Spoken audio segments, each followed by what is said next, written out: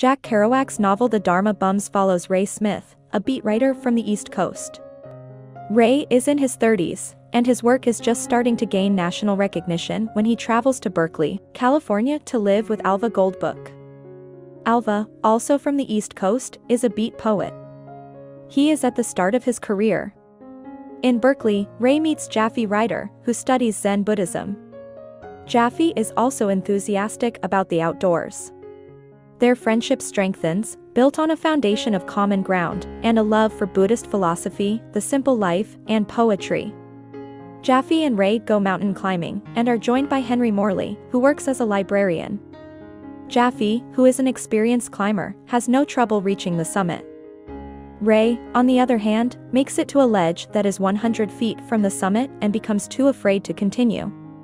After this adventure, Japhy and Ray continue to share in one another's lives, even sharing their girlfriends. When it comes time to go to his mother's home for Christmas, Ray hitchhikes. He rides trains by climbing into the boxcars and stowing away. He travels this way all the way across the United States. His mother lives in North Carolina, he stays there for a few weeks with her, surrounded by the woods. He spends his time meditating and seeking enlightenment. Following Japhy's suggestion, Ray accepts a job for the summer working as a fire lookout in the Cascade Mountain Range. After that, he hitchhikes his way back across America. He takes the southern route this time and stops in Mexico for a while, where he engages with prostitutes, alcohol, and marijuana. However, he determines that all of these temptations are not as alluring as clarity and meditation in the desert lands of Texas. When he returns to Berkeley, he lives with Japhy. They share a little shack surrounded by nature, where their friendship hits the ground running, picking up from before Ray went east to his mother's. They talk about Buddhism and Christianity. They discuss poetry and women. Philosophy and wine also form the center of many of their discussions. Thanks to his progress with his own meditations, Ray no longer seeks to follow Japhy as a philosophical teacher.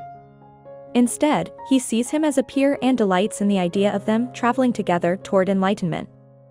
Among their shared experiences and adventures are a number of wild parties, after which Japhy leaves the United States. He sails to Japan to study. Ray also leaves Berkeley, heading north toward the state of Washington. As before, he walks and hitchhikes. He goes to Desolation Peak, where he works as a fire lookout and enjoys his isolation. He meditates more and is filled with happiness and enlightenment. The path to enlightenment is an important theme as it drives Ray Smith's personal voyage. He gives up his material goods and experiences of a tangible nature to explore his own spiritual path, often through meditation and solitude.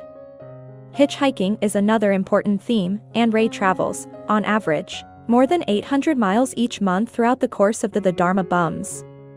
This method of travel not only reflects the way many characters in beat novels get around, but it is also an allegory for the spiritual path Ray travels throughout the book. By giving up his belongings and traveling in a self-sustaining manner, Ray feels that he is able to give up his desire, and with that, his pain. Once he has given up his suffering, he feels he is able to attain enlightenment. The third crucial theme of the novel is nature, and Ray's growing appreciation of it.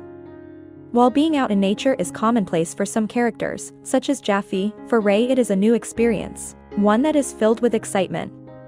The more time Ray spends outside, the more he loves it. Kerouac's language about nature is often as sweeping and expansive as the landscapes themselves. Jack Kerouac was an American novelist and poet who lived from 1922 to 1969. He was one of the pioneers of the Beat generation, which was comprised largely of authors who sought to explore American culture after World War II. Other examples include Allen Ginsberg and William S. Burroughs. Kerouac wrote a number of notable works, including On the Road, Big Sur, and Desolation Angels. Many musical artists were inspired by Kerouac's work in literature and poetry, including Bob Dylan, The Beatles, The Grateful Dead, The Doors, and Patti Smith. Kerouac was awarded an honorary degree from the University of Massachusetts Lowell in 2007, posthumously. The 2009 film, One Fast Move or I'm Gone, Kerouac's Big Sur took viewers to the places that inspired the author's settings and characters. On the Road was adapted for the big screen and released in 2012, and Big Sur was made into a film in 2013. I hope you enjoyed this video leave a like if you did and be sure to subscribe thank you.